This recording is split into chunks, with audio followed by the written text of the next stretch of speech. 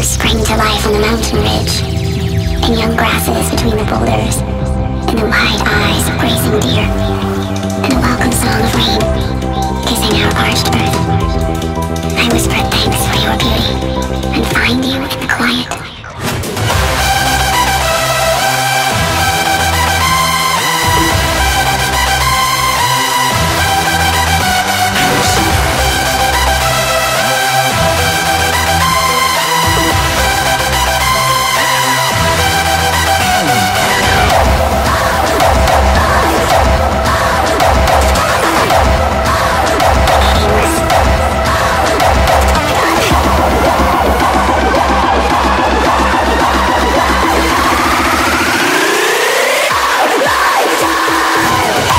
We'll be